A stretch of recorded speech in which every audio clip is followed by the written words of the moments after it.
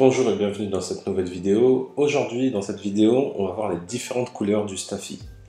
Donc, je vais vraiment te présenter les couleurs qui sont autorisées par la Fédération Cynologique Internationale. Donc, vraiment les couleurs qui sont dans les standards du Staffy. Alors, l'une des couleurs les plus répandues, c'est la couleur rouge ou fauve. Alors rouge, comme son nom l'indique, c'est pas vraiment rouge. Et en fait, c'est une robe qui tire généralement vers le roux. Donc il peut avoir des taches blanches. Là, comme tu le vois sur la photo, le Staffy a des taches blanches, notamment au niveau du plastron. Et c'est l'une des couleurs les plus répandues pour le Staffy. Ensuite, tu as le noir, ou qu'on appelle également noir bringé.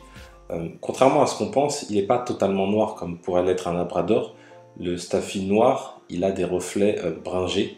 Donc c'est tout à fait normal si tu vois sur ton euh, Staffy ou sur un Staffy souhaite acquérir, qu'il a des reflets, euh, ce qu'on appelle des, rayures fauves en fait. Et si tu vois qu'il a ça, c'est tout à fait normal parce que en fait le noir n'est pas totalement noir. C'est qu'en fait le bringé, la, rayure fauve, elle a été diluée au fil du temps et euh, visuellement on a l'impression qu'il est totalement noir, mais c'est pas le cas. Également, bah, il peut avoir une tache au plastron blanche, comme c'est le cas de beaucoup de staffy. Alors également, tu as le bringé. Donc le bringé, c'est un mélange entre le fauve et le noir. Donc tu vois, c'est une forme de rayure. Euh, moi, je trouve ça très très joli. Je sais pas pour toi, mais mets-moi dans les commentaires si tu trouves le Staffy bringé joli. Et en fait, c'est un mix entre les deux, entre donc la robe noire et la robe fauve.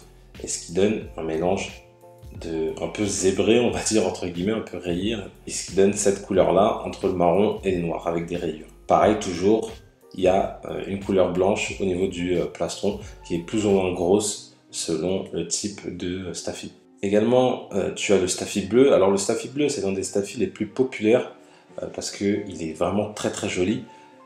contrairement à ce que l'on pense, il n'est pas bleu. Là, tu vois qu'il tire plus vers du gris. En fait, visuellement, c'est plus du gris, mais on l'appelle bleu.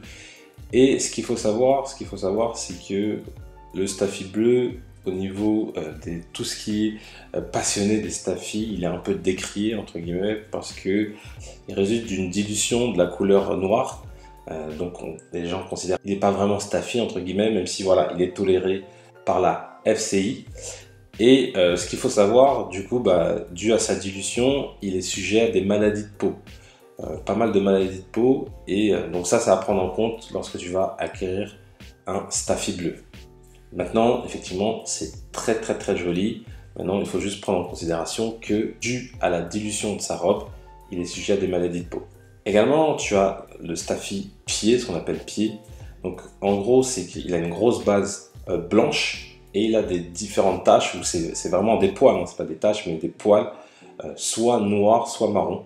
Donc, en gros, il a un peu, euh, voilà, il a deux couleurs principales. Contrairement au blanc qui lui est quasiment blanc, même s'il peut avoir des petites taches, euh, voilà, comme, là sur la photo, tu vois qu'il a une tache noire, mais euh, globalement, il reste blanc. Donc c'est vraiment le Staffy, un Staffy tout blanc.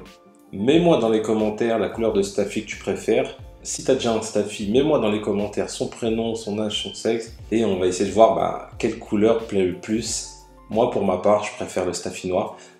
Toi, mets-moi dans les commentaires la couleur que tu préfères. Je te remercie d'avoir suivi cette vidéo. Si tu as aimé la vidéo, mets-moi un petit pouce bleu, ça fait toujours plaisir. Si tu as des questions, bah, tu as les commentaires qui sont là pour ça, tu n'hésites pas. Avant de partir également, abonne-toi à la chaîne, clique sur la cloche pour recevoir toutes les prochaines vidéos où je vais parler du staffy et de l'éducation du chien en règle générale.